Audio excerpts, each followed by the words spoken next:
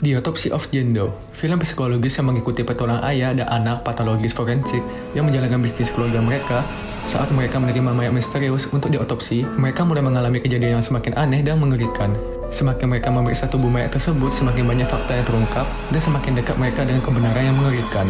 Dengan suasana yang mencekam dan terus yang tak terduga, film ini akan membuat penontonnya benar-benar dan terus memikirkan cerita di balik mayat wanita misterius itu.